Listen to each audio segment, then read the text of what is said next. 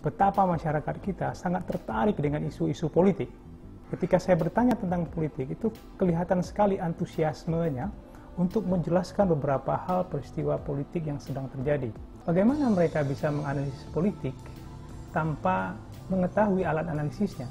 Itu alasan pertama kenapa channel ini muncul.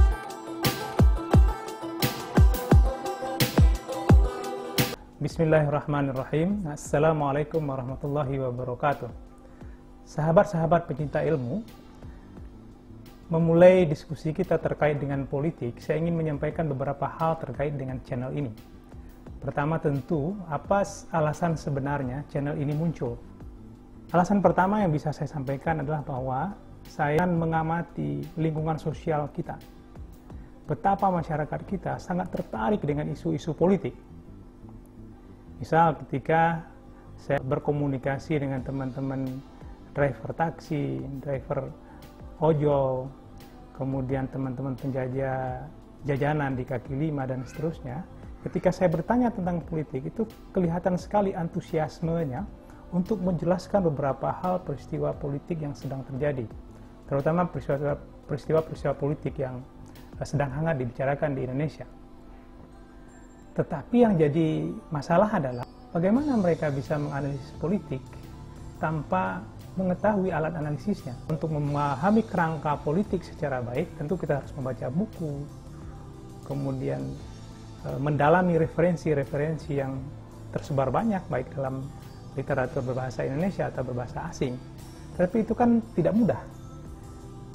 Jangankan bagi masyarakat umum, bagi sarjana ilmu politik sekalipun itu bukan sesuatu yang mudah. Itu alasan pertama kenapa channel ini muncul. Alasan kedua kenapa channel ini muncul berangkat dari pengalaman pribadi saya termasuk beberapa informasi yang saya terima dari teman-teman uh, sarjana politik. Terakhir kami secara bersama-sama mengambil jurusan ilmu politik uh, di Universitas Indonesia. Apa yang kami temui atau kami dapatkan ketika kami uh, menyelesaikan studi di ilmu politik, hampir seluruh hari kami digunakan untuk menggali referensi buku-buku yang terkait dengan politik, terutama yang terkait dengan disertasi tentunya.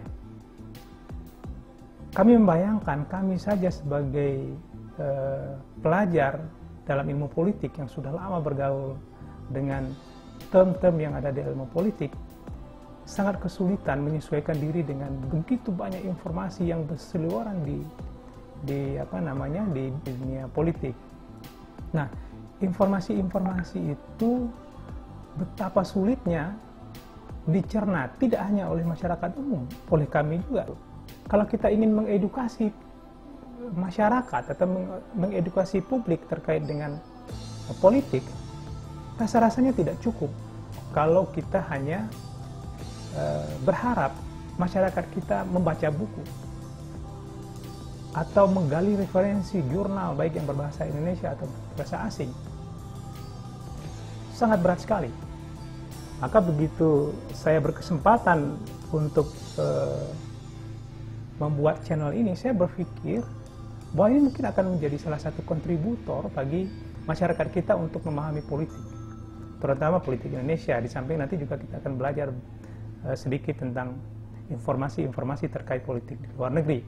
Alasan ketiga kenapa channel ini muncul adalah akan terjadi pergeseran cara belajar. Jika dulu model belajarnya kita harus face to face dengan pengajar secara langsung, dosen, guru, dan seterusnya, sekarang tidak lagi seperti itu. Media audiovisual sudah luar biasa canggih, dan sudah luar biasa lonjakan kemajuannya. Sehingga itu bisa dimanfaatkan untuk media pembelajaran. Jika hari ini misalnya referensi yang diakui dari buku terstandar dan jurnal yang uh, terstandar nanti mungkin saja referensi itu bisa saja diambil dari channel-channel uh, seperti ini. Atau dari informasi-informasi semacam ini, bisa dari video secara langsung. Sehingga model belajar juga akan berbeda. Ini menjadi salah satu cara saya untuk uh, memberikan alternatif belajar bagi masyarakat secara langsung dengan mudah dengan ilmu politik. Itu alasan ketiga. Nah, alasan keempat, saya berpikir bahwa dengan cara seperti ini, orang bisa belajar lebih ringan, rileks, dan seterusnya. Mereka tidak diikat oleh uh, tempat dan waktu. Kapan pun mereka bersedia belajar, bisa, mereka bisa buka uh, channelnya, kemudian mereka bisa memutar channelnya sambil mendengar, sambil menonton, dan seterusnya. Bisa sambil nyetir, sambil istirahat, dan sebagainya. Nah, ke depan, kayak saya tentu berharap tidak hanya saya yang menjadi uh, salah satu pengisi dalam channel-channel seperti ini. Saya berharap juga beberapa dosen lain juga melakukan hal yang sama. Tidak hanya di bidang politik, sosiologi, ekonomi, dan seterusnya itu sebaiknya mulai diisi dengan cara seperti ini karena e, masyarakat telah berkembang dan teknologi juga sedang berkembang. Demikian.